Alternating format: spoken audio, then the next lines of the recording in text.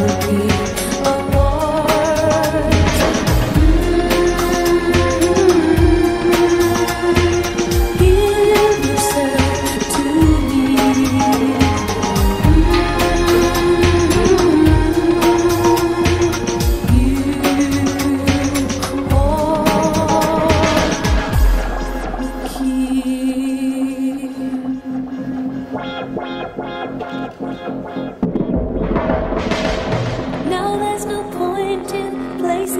blame.